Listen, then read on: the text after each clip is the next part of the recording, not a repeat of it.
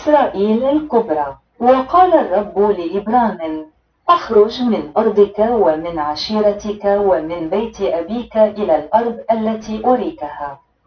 فأجعلك أمة عظيمة وأباركك وأعظم اسمك وتكون بركة. وأبارك مباركيك وألعن لعنك وتتبارك فيك جميع قبائل الأرض. تكوين اثنا عشر على واحد سالب ثلاثة. طوبى للأمة التي الرب إلهها والشعب الذي اختاره ميراثا له. مزمور 33 على 12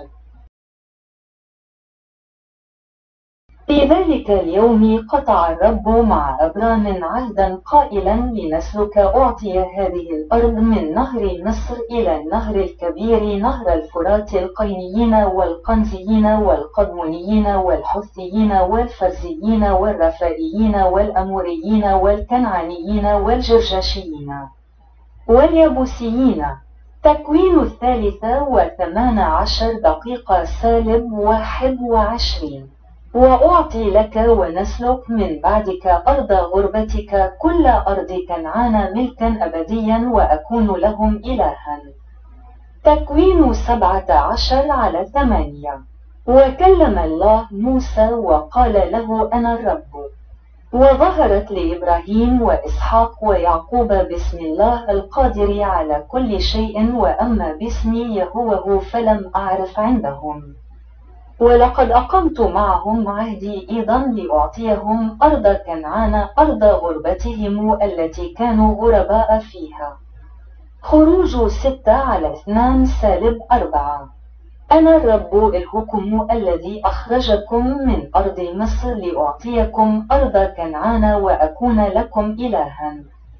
لويين خمسة وعشرون على ثمانية وثلاثون.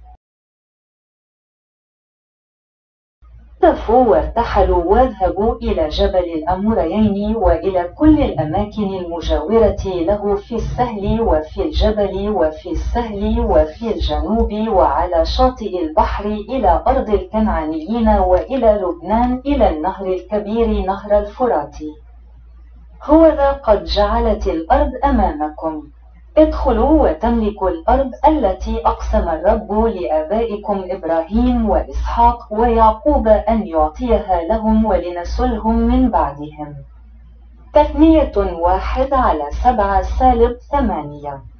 فإنكم إذا حفظتم كل هذه الوصايا التي أنا أوصيكم بها وعملتم بها وأحببتم الرب إلهكم وسلكتم في كل طرقه وتمسكتم به حينئذ يطرد الرب كل هؤلاء الأمم من أمامكم فتملكون أمما أعظم وأعظم منكم كل مكان تدوسه بطون أقدامكم يكون لكم من البرية ولبنان ومن النهر نهر الفرات إلى البحر الأقصى يكون تخمكم. لا يقف إنسان في وجوهكم لأن الرب إلهكم يجعل خوفكم ورعبكم على كل الأرض التي تدسونها كما قال لكم تثنية الحادية عشر واثنتان وعشرون دقيقة سالب خمسة وعشرين. عد إلى جبل عباريم هذا إلى جبل نبو الذي في أرض موب الذي قبالة أريحة وانظر أرض كنعان التي أنا معطيها لبني إسرائيل ملكا. تثنية اثنان وثلاثون على تسعة وأربعون. وبعد موت موسى عبد الرب حدث أن الرب كلم يشوع بن نون خادم موسى قائلا موسى عبدي قد مات. فالآن قم عبر هذا الأردن أنت وكل هذا الشعب إلى الأرض التي أنا معطيها لهم أي لبني إسرائيل. كل موضع تدوسه بطون أقدامكم أعطيته لكم كما قلت لموسى. من البرية ولبنان هذا إلى النهر الكبير نهر الفرات. كل أرض الحثيين وإلى البحر الكبير نحو مغرب الشمس يكون تخمكم. لا يقف أحد أمامك كل أيام حياتك. كما كنت مع موسى أكون معك. لا أهملك ولا أتركك. تشدد وتشجع لأنك أنت تقسم لهذا الشعب الأرض التي أقسمت لآبائهم أن أعطيهم إياها ميراثا. يشوع واحد على واحد سالب ستة. هذه هي البلاد التي ورثها بنو إسرائيل في أرض كنعان التي قسمها لهم العازار الكاهن ويشوع بن نون ورؤساء آباء أسباط بني إسرائيل ميراثا. يشوع أربعة عشر على واحد. وضرب داود هدد عزر بن رحوب ملك صوبة وهو ذاهب لاسترجاع تخومه عند نهر الفرات. اثنان صموئيل ثمانية على ثلاثة. حتى العهد الذي قطعه مع إبراهيم وقسمه لإسحاق وأثبته ليعقوب فريضة ولإسرائيل عهدا أبديا قائلا لك أعطي أرض كنعان نصيب ميراثكم وأنتم قليلون قليلون وغرباء فيها. واحد أخبار الأيام الرابعة وستة عشر دقيقة سالب تسعة عشر. وضرب داود هدد عزر ملك صوبة إلى حماة حين ذهب ليثبت سلطانه على نهر الفرات. واحد أخبار الأيام ثمانية عشر على ثلاثة. الذي قطعه مع إبراهيم وقسمه لإسحاق وأثبته ليعقوب فريضة ولإسرائيل عهدا أبديا قائلا. لك أعطي أرض كنعان نصيب ميراثك حين كانوا نفرنا قليلا وغرباء فيها. مزمور مئة وخمسة على تسعة سالب اثني عشر. الذي ضرب أمما عظيمة وقتل ملوكا أقوياء. سيحون ملك الأموريين وعوج ملك باشان وكل ممالك كنعان. وأعطى أرضهم ميراثنا ميراثنا لإسرائيل شعبه. يا رب اسمك إلى الأبد وذكرك يا رب إلى دور فدوري. مزمور مئة وخمسة وثلاثون عشرة إلى ثلاثة عشر.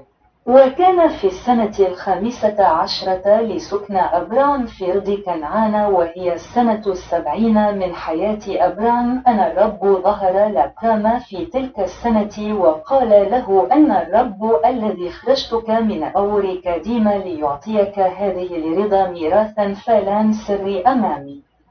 وكن كاملا واحفظ وصاياي لاني لك ونسلك أعطي هذه الأرض ميراثا من نهر مصر إلى النهر الكبير الفراتي ياشر ثلاثة عشر. سبعة عشر إلى ثمانية عشر. قام عيسو ورجع إلى يعقوب وفعل كل ما أشار به عليه نبيوت ابن إسماعيل. وأخذ عيسو كل الثروة التي تركها إسحاق. النفوس والبهائم والبهائم والممتلكات وكل الثروة. ولم يعطي يعقوب أخاه شيئا وأخذ يعقوب كل أرض كنعان من وادي مصر إلى نهر الفرات فاتخذها ملكا أبديا لأولاده ونسله من بعده إلى الأبد.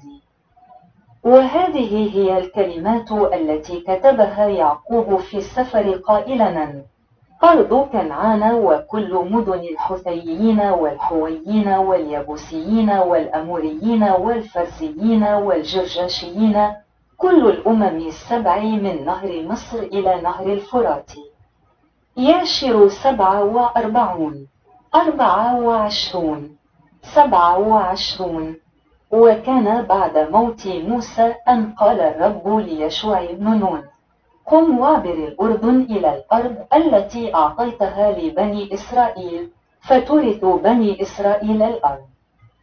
كل مكان تدوسه بطون أقدامكم يكون لكم من برية لبنان إلى النهر الكبير نهر فراث يكون تخومكم يشو ثمانية وثمانون على واحد سالب ثلاثة. قال له أنا الرب الذي أخرجك من أور الكلدانيين لأعطيك أرض الكنعانيين لتمتلكها إلى الأبد وأكون إلها لك ونسلك من بعدك.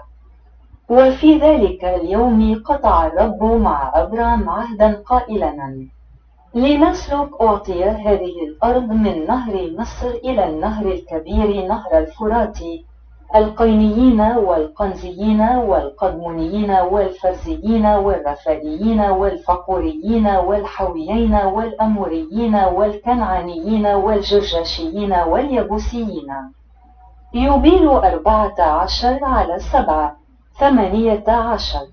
وأعطي لك ونسلك من بعدك الأرض التي كنت غريبا فيها أرض كنعان لتمتلكها إلى الأبد وأكون لهم إلها. يوبيلات الثالثة وعشر دقائق. قلت لأبي يعقوب بك يسلب الرب الكنعانيين ويعطي أرضهم لك ونسلك من بعدك. لويين الثالثة وعشر دقائق. وبعد هذه الأمور يطلع لكم الرب نفسه يسوع المسيح نور البر فترجعون إلى أرضكم. زبولون الثانية واثنتان وثلاثون دقيقة. وبعد أن تصغروا وتصيروا قليلين تعودون وتعترفون بالرب إلهكم فيردكم إلى أرضكم حسب رحمته الكثيرة. نفتالي الواحدة وثلاثون دقيقة.